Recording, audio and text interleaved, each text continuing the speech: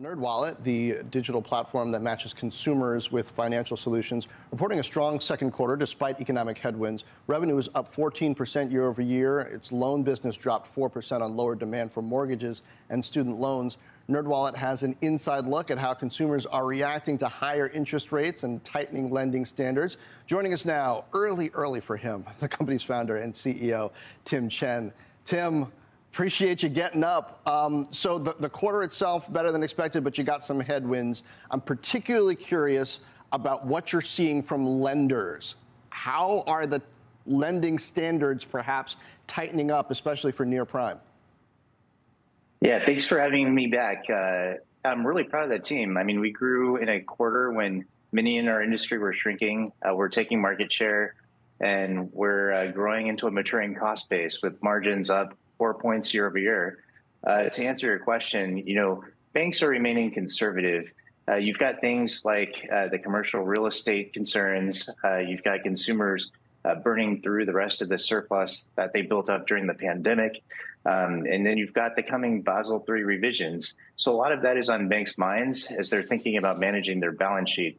Uh, so we're seeing them uh, potentially shy away from some business that they normally would have jumped at in the second half of last year. Uh, things like balance transfer credit cards for prime borrowers uh, that uh, you know you really have to subsidize in the first year with that zero percent interest, uh, but then become very profitable for the card issuers over time. And so we really think that bit of conservatism is oriented around building up capital for banks um, in the face of some of these headwinds.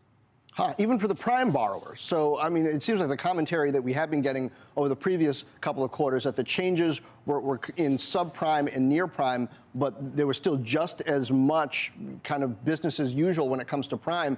But maybe that investing in the future for the prime borrower, even that's being pulled back on now? That's right. We, interestingly, we're actually seeing a bit of difference versus prior cycles. Uh, you know, credit quality is not the primary driver right now uh, in terms of some of this conservatism.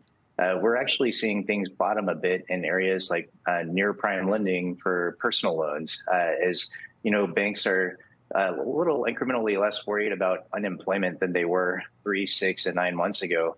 Uh, if you recall, um, banks were largely saying they were expecting unemployment to be five to six percent exiting this year as they were doing their underwriting, and that's that's gotten a little bit more optimistic. So we're seeing a bit of a bottom and a pickup there. Um, it's really the big part of their balance sheet in terms of dollars and cents, the prime lending, uh, where they're being more conservative to conserve capital. Now, how are you modeling uh, what's going to happen with student loan payments as they return uh, just a few weeks from now. I remember talking to Max Levchin over at Affirm a quarter or so ago. He's watching that very closely and what the impact on the consumer is going to be. Any chatter from uh, the lenders or just what you expect to see when that happens? Yeah, I mean, the, the lenders are saying they expect expect a bit of a pickup in Q4. You know, uh, internally, we're more conservative. Uh, we've seen a lot of different proposals post the Supreme Court ruling from the Biden administration. We've seen legal challenges. So it's hard to say with certainty uh, what's going to happen in terms of, uh, you know, when people are going to start uh, being uh, forced to think about refinancing and repaying their student loans. What about your insurance business? Um, that's something that's you know newer than the core businesses that you have, but also affected by the macro environment. How is that shaking out in the current quarter, and what are your expectations?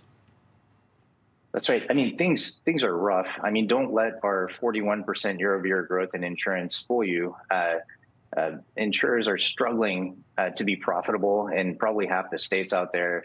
Uh, what's happening is that inflation is making it more expensive to repair a car, to replace a car, to repair a home, to replace a home, and uh, that's causing the need to rise raise premiums pretty dramatically uh, in many areas.